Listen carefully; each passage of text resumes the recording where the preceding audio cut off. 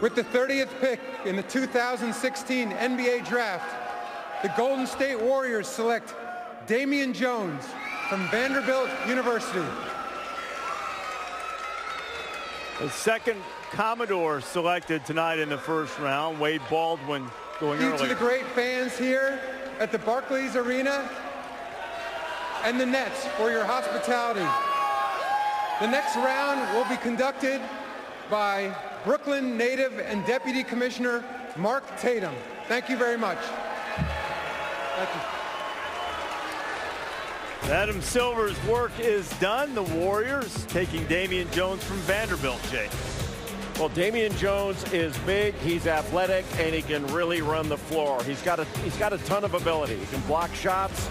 He's had a little bit of an inconsistent motor, I'd say. Uh, you know, plays hard and is aggressive at some points in the game and hangs back at others. But from a talent standpoint, he has got a ton of talent. Got a chance to really watch him at the uh, Nike Basketball Academy last summer in Los Angeles, and clearly one of the most impressive big guys. You know, his, his talent level's high.